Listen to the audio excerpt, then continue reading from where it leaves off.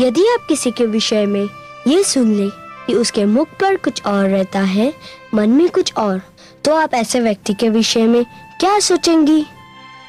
क्या आप ऐसे व्यक्ति को ढोंगी नहीं कहेंगी?